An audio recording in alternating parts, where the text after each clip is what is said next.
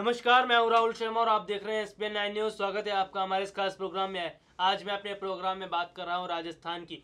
राजस्थान में जल्दी विधानसभा चुनाव होने वाले हैं और चुनाव से पहले जिस तरह से बीजेपी में जी हाँ घमासान देखने को मिल रहा है या फिर हम ये कह सकते हैं कि बीजेपी में पार्टी के आपस में नेताओं के बीच में अनबन देखने को मिल रही है, जिसका बड़ा फ़ायदा कांग्रेस को मिल सकता है। और अगर कांग्रेस को बड़ा फ़ायदा मिला तो इससे कांग्रेस की जीत भी कहीं ना कहीं सुनिश्चित है।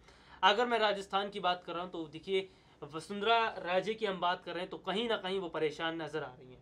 पूर्व राष्ट्रपति और राजस्थान में बीजेपी के कद्दावर नेता रहे भैरव सिंह शेखावत के दामाद। नरपत सिंह राजवी की एक चिट्ठी ने राजस्थान की सियासत में उबाल ला दिया चिट्ठी में भ्रष्टाचार के आरोप लगाए गए राजवी की ये चिट्ठी यूँ तो जयपुर नगर निगम से संबंधित है, लेकिन इसे सीधे मुख्यमंत्री वसुंधरा राजे को लिखा गया है। हालाँकि मीडिया में मामला खुलने से पहले तक इस पर कोई चर्चा नहीं थी लेकिन अब मामला संभाले नहीं सम रहा है। राजस्थान में केंद्रीय नेतृत्व की आवाजाही बढ़ रही है। इन सबके बीच मुद्दा बनी चिट्ठी ने प्रादेशिक प्रा, प्रादेशिक नेतृत्व के हाथ पाँव फुला दिए इस हफ़्ते अमित शाह जयपुर आ रहे हैं। सात जुलाई को ही प्रधानमंत्री नरेंद्र मोदी जयपुर में रैली करके गए हैं और पार्टी सरकार के नगर निगम अब इसी उधेड़ बन में है कि इस तूफ़ान को शाह के आने से पहले शांत किया जाए तो कैसे? ये देखने को मिल रहा है कि एक चिट्ठी है जिसने राजनीतिक माहौल काफ़ी गर्म कर दिया है। उससे कहीं ना कहीं वसुंधरा राजे की परेशानी भी बढ़ गई है। क्या है चिट्ठी में आपको जानकारी देते हैं।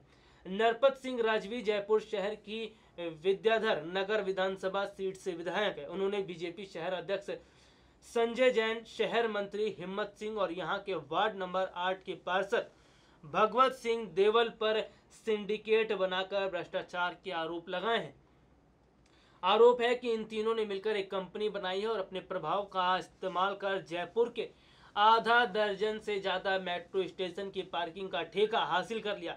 इस कंपनी में हिम्मत सिंह का रिश्तेदार भी शामिल है, जो युवा मोर्चा का पदाधिकार है। आरोपों की फहरिस्त यहीं तक सीमित नहीं है। आरोप है कि गुप्ता एंड कंपनी को शहर के नालों की सफ़ाई का ठेका दिलाया गया था। राजनीतिक रसूख से ठेके हासिल कर खुलासा तब हुआ जब सफ़ाई न होने की शिकायत की गई। राजवी के मुताबिक जब उन्होंने मेयर अशोक लोहाटी से कार्रवाई न होने के बारे में पूछा तो मेयर ने अपनी लाचारी जताई। राजवी के मुताबिक मेयर ने कहा कि तमाम अनियमितताओं के बावजूद इस कंपनी पर कोई कार्रवाई नहीं हो सकती। ऐसा इसलिए क्योंकि इससे बीजेपी के पदाधिकारी जुड़े हुए राजवी का दावा है कि मेयर ने उन्हें बातों बातों में इशारा भी दिया कि ठेकेदार फार्मों द्वारा भ्रष्टाचार होता कैसे है। बेमानी ठेके लेने वाले 10 से 12 महीने बाद बिल लगते हैं। इतने लंबे वक्त के कारण मामला ठंडा पड़ जाता है। ठेके में जमा सिक्योरिटी राशि का समय भी निकल जाता है और इस तरह का भुगतान फ़ौरन करा लिया जाता है। यानी कि चिट्ठी में इस बात का खुलासा है कि जिस कंपनी को ठेका दिया गया था, सफ़ाई का, वो कंपनी सही ढंग से अपना काम नहीं कर पाई। और मामला तब खुलकर सामने आया जब वहाँ पर स्थिति सही नहीं थी। राजवी के मुताबिक निगम पार्षद, जोन उपायुक्त को पहले अवैध इमारतों के बारे में चिट्ठी लिखते हैं। इनको नोटिस जारी करवाते हैं और इसके बाद शुरू होता है इमारतों के मालिकों से वसूली का खेल। बताया जा रहा है, इस साल फरवरी में पार्षद देवल ने तेईस इमारतों को अवैध बताते हुए इनकी लिस्ट निगम को सौंपी। इनमें से सिर्फ़ चार को नोटिस जारी किए गए हैं। आरोप है कि भगवत सिंह देवल और उनके पड़ोसी जैन धर्म सिंह की मिली भगत से ये खेल काफ़ी वक्त से चल रहा था, लेकिन आखिरकार इस खेल से जिस तरह से पर्दा उठा, इससे वाकई में समझ में आया कि आखिरकार किस तरह से कंपनी को ठेका दिया गया था और पैसे खाए कहीं ना कहीं कंपनी, लेकिन काम नहीं हुआ। हालाँकि जिन पर आरोप लगाए गए हैं, वे इस विधायक की हताशा बताते हैं। पार्षद का, पार्षद देवल का कहना है कि इस बार राजवी को शायद टिकट नहीं मिलने वाला है, इसलिए वे पार्टी पर दबाव बनाने की नीति के तहत काम कर रहे हैं। बीजेपी शहर अध्यक्ष संजय जैन ने भी आरोपों को सिरे से खारिज करते हुए पूरे मामले की जाँच कराने की मांग कही हुई। वहीं जिस तरह से बीजेपी नेताओं का ये कहना है कि बीजे, बीजेपी के शहर अध्यक्ष ने कहा है कि ये गलत है और इस मामले की जाँच होनी चाहिए और जो होगा उसमें खुल सामने आ जाएगा। अब बीजेपी की अगर हम बात करते हैं, इस पूरे विवाद ने विपक्ष को भ्रष्टाचार के मुद्दे को बनाना भुनाने का मौका दिया है। कांग्रेस अध्यक्ष सचिन पायलट ने आरोप लगाया कि बीजेपी संस्थागत भ्रष्टाचार को बढ़ावा दे रही है। पायलट के मुताबिक कांग्रेस के बाद अब खुद बीजेपी वाले भी अपनी ही सरकार की पोल खोलने में लगी। पायलट ने घनश्याम तिवारी की मिसाल देते हुए कहा कि बीजेपी नेतृत्व बजाय सुचिता के पालन के भ्रष्टाचार उजागर करने वालों को ही बाहर जाने पर मजबूर कर देता है। कांग्रेस के मुद्दे लपकते ही बीजेपी के ऊपर से लेकर नीचे तक बैठकों के दौर शुरू हो गए। संगठन मंत्री चंद्रशेखर और नरपत सिंह राजवी के बीच लंबी बातचीत भी हुई। प्रदेश अध्यक्ष मदन लाल सैनी की तरफ़ से भी मीडिया में सफ़ाई दी गई। पार्टी ऑफ़िस में ही जयपुर शहर से आने वाले कई विधायकों और मंत्रियों, मसलन, कालीचरण, सराफ, अरुण चतुर्वेदी, मेयर अशोक लोहाटी और शहर अध्यक्ष संजय जैन के बीच लंबी बातचीत हुई। पार्टी की कोशिश है कि दो दिन बाद हो रहे अमित शाह के दौरे से पहले इस मामले को किसी भी तरह से निपटा लिया जाए। लेकिन अगर बात अमित शाह तक पहुँचती है तो मामला बहुत ज़्यादा गर्मा जाएगा और कहीं ना कहीं जिस तरह से राजस्थान में बीजेपी की हालत कुछ खास नहीं है और सबसे बड़ी बात है चुनाव नज़दीक है।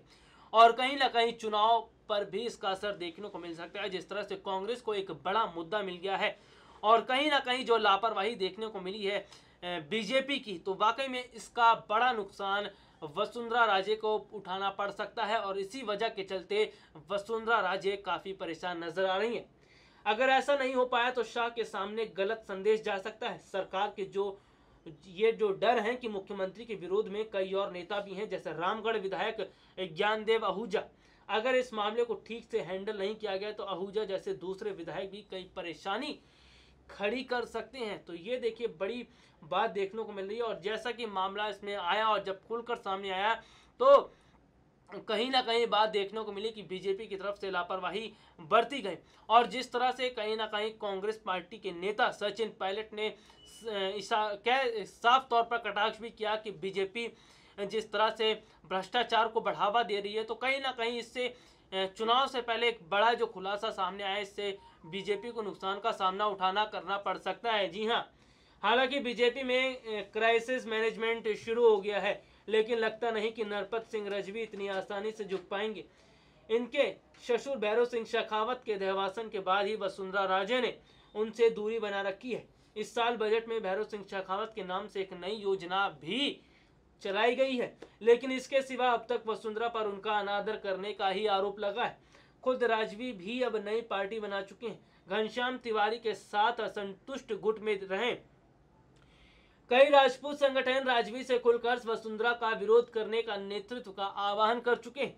ऐसे में अब देखने वाली बात तो ये होगी कि क्या परेशानियों में घिरी बीजेपी के लिए राजवी एक और परेशानी बनते हैं या फिर बीजेपी इस संकट का हाल निकाल पाने में कामयाब रहती है। वैसे राजवी मान भी जाए तो लगता नहीं कि भ्रष्टाचार के मुद्दे पर कांग्रेस, घनश्याम तिवारी या हनुमान बेनीवाल इतनी आसानी से वसुंधरा सरकार की को चैन की सांस लेने देंगे। बैठे बिठाए कांग्रेस को बड़ा मुद्दा मिल चुका है और जिस तरह से राजस्थान में मैं बार बार बात कर रहा हूँ, विधानसभा चुनाव है।